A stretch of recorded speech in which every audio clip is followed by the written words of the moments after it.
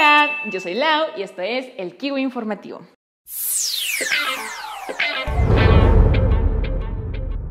¿Qué onda, Kiwinautas? ¿Recuerdan cuando les dijimos que quizás habría una secuela de los cazafantasmas? Pues esta semana algo un tanto sorpresivo llegó a la luz. El nuevo elenco para la película será femenino y aunque aún siguen en negociaciones, las posibles protagonistas serán Melissa McCartney, Kristen Wiig, Leslie Jones y Kate McKinnon. Esta película está siendo dirigida por Paul Feig, con quien McCartney y Wiig ya habían trabajado antes en Bridesmaids, que me encanta. Será interesante ver cómo funciona esta comedia fantasma con solo chicas, pero probablemente estará llena de risas, ya que todas estas mujeres son excelentes comediantes. Díganos, ¿qué les gustaría que pasara en este reboot de Fantasmas? Es todo por ahora, pero recuerda dar clic en las anotaciones de aquí.